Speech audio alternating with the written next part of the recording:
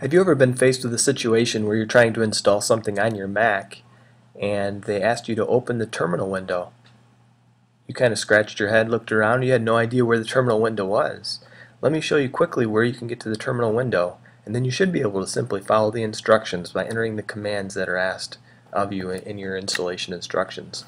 So the, the easiest way to get to the terminal window is if you go to the upper right hand corner of your Mac screen to the search search area, which is indicated by this uh, magnifying glass up here in the upper right. Go ahead and click on that, type in the word terminal, and it should be your top hit. And go ahead and click on that, and your terminal window should launch.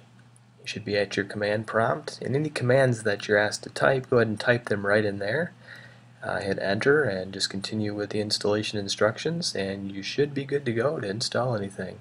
You just understand that Macs are built upon Unix platforms and so sometimes they'll ask you to go to this command prompt.